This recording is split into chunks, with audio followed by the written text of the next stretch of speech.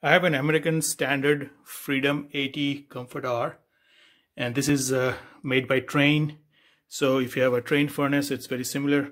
So this furnace is from 2006 and now it's January of 2021. So if you subscribe to my channel, I have a few other videos how I repaired this furnace. And the problem I have today is the blower fan is not working and uh, it has happened before and you will see another video where I have uh, switched out the blower fan with a used motor and those are the ECM motors and what I'm going to do is I think I know the issue and I will try to uh, fix that. On this uh, motor housing you will see that the top one you see this area is the ECM control board or the control um, and I'm going to remove just the just these two bolts. And I'm not going to remove any of the housing here. Or you don't need to remove from the squirrel cage just this top cover which is the control module. And this one takes um, one by four inch socket. And that's the one that is uh, going to open these these bolts. So while removing this just make sure that you look at the orientation. This is the facing uh, to the front where we removed the two cables or the connectors. And this is how the squirrel cage goes. So this is the front of the machine. And so when you put the housing back on you should make sure that this is pointed towards the front and I'm going to remove these two bolts. These are two long bolts. And I'm going to lift this up. And I'll show you what might be the issue.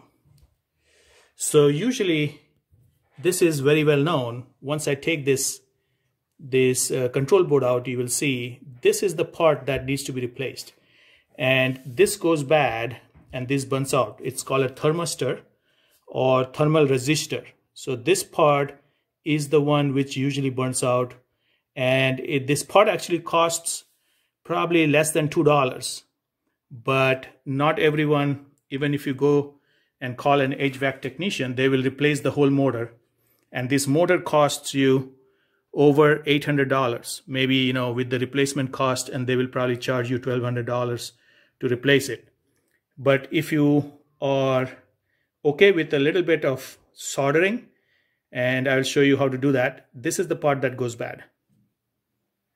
So the next is I'm going to disconnect this wiring. You see that the wiring that connects to the motor.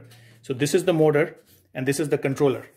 And this wiring is, the harness is right there. So you can press on it and there is a clip on my right side and it will come out. So this is the wiring harness and you can see this is the clip that holds it. So one sign that your pot is burned is if you if you smell this you will have some burning smell. And that's what you actually smell uh, when it was uh, you know about to die. And you will have some burning smell in the air that is discharged. In my case my wife called me and said she has she smells something burning and I went upstairs and I did smell it.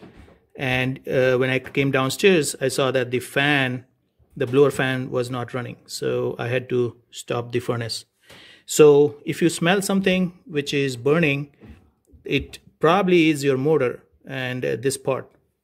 So to, remove the, uh, I have to take out this control board so that I can flip it upside down. And so there are um, a couple of uh, bolts over here. So this one bolt and uh, that one bolt should take it out. There might be another one here. So there are two bolts.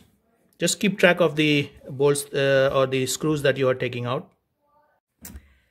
So after removing the two screws and uh, those screws were one here and one right there you can see that there is a little bit of a clip that needs to be I'm using a needle nose plier to just release that clip. And that will get my uh, board out. So here I have the new part. And I will put the part number. And uh, you can see I bought it from uh, Mouser Electronics and at that time I had replaced it once on the previous motor. And uh, the last time I had to replace the whole motor uh, because one of the connectors went bad.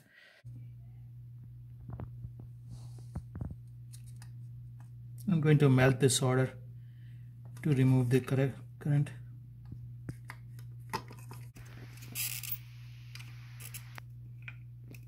Be careful because if you pull it it I'm going to use a needle nose plier to pull from the other side because it gets hot. That wire will get hot.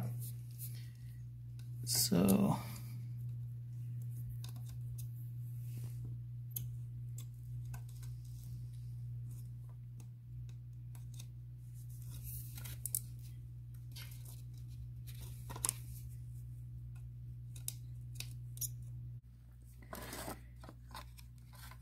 I'm going to put the the new one and pass it through the holes you can see.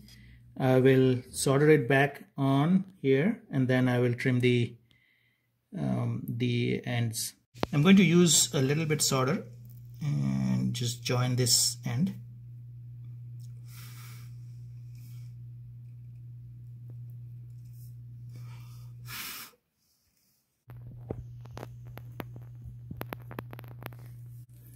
so here goes the new part. And um,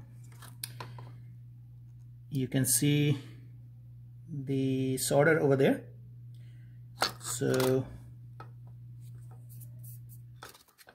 um, right these two. And it is I'm going to put this back in. Just make sure that these wires are are being routed through those holes in there and I will put this back together. So before I put this uh, motor back on, what I do is I test it to make sure that the fix I did is going to work. So I have connected the terminals and you can see it's still sitting outside. And I have put the thermostat to have the fan turned on or circulate, whichever setting works for you. And I'm going to turn the power on.